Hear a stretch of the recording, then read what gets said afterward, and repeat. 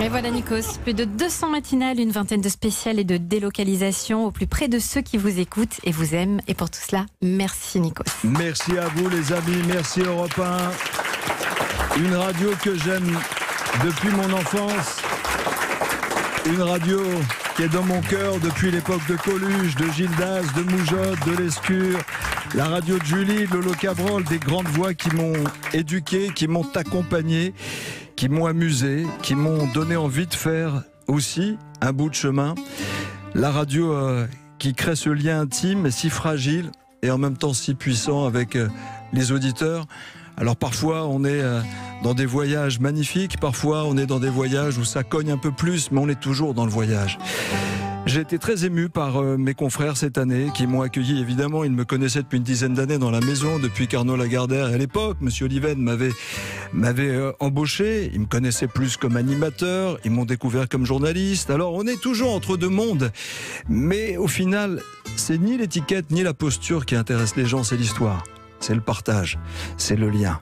Et ce lien, il commence souvent comme une danse grecque. Lentement, on se dit, il va nous emmerder avec son marathon et ses chèvres et sa feta. Et ça se termine toujours dans un sprint. Un sprint où on se dit on n'a pas le temps de dire les choses. J'ai trop aimé cette maison pour la désaimer du jour au lendemain et je l'aimerais toujours. Elle fait partie de mon ADN. C'est une maison qui m'a constitué aussi en tant que journaliste, en tant que personne, en tant que père en tant que collègue. Et vous regardez tous ici dans ce studio ce matin, me dit que j'ai bien fait d'insister. J'ai bien fait de présenter avec vous cette matinale cette année. J'en suis fier, mais plus fier que tout. Et au-delà des discussions, Europe 1 est une radio très observée. Ce qui compte, c'est la cohérence et c'est l'histoire qui va continuer. Je n'ai été qu'un maillon dans cette histoire. Rien ne nous appartient quand on fait ce métier. Nous n'avons aucune certitude, ni les gloires, ni les échecs.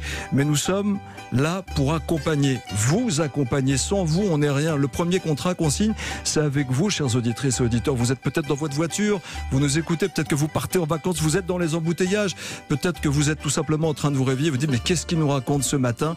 À la radio, rien ne se termine. Ce n'est pas la fin d'une histoire, c'est une autre histoire qui va commencer. Alors je vous demanderai l'année prochaine d'accueillir dans quelques mois Mathieu Belliard et toutes ses équipes avec le même enthousiasme et la même sympathie dont on a eu droit effectivement, les, les, choses changent. Comme dirait Héraclite, rien ne dure, tout est mouvement.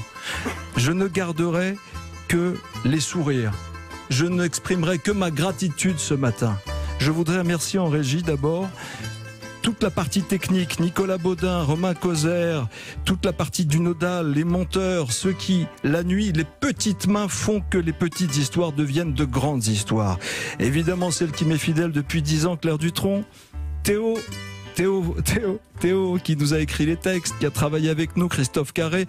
Les éditions spéciales, les dernières, nous les avons faites avec euh, Thierry Dagiral. Je pourrais remercier tous les rédacteurs en chef, j'en vois quelques-uns, mais comme je vais en oublier la moitié, ça va créer des histoires. Donc je vous regarde dans les yeux, les amis, et je vous remercie. Constance, je te souhaite bonne chance dans ton nouveau travail. J'ai une pensée aussi pour celui qui a eu cette année l'idée auprès d'Arnaud Lagardère de faire ce bout de chemin avec moi, Laurent Guimier. On continue, tout va bien. Vous savez, quand on sort et quand on finit une histoire en Grèce, on danse, on garde le meilleur. Nikos Kazantzakis, qui a écrit Zorba, disait Je ne crains rien, je n'espère rien, je suis libre et je pars comme un homme libre et un homme qui vous aime. Merci à tous. Merci Nikos. Salut les amis. Dans un instant, c'est Wendy Bouchard sur Europe 1.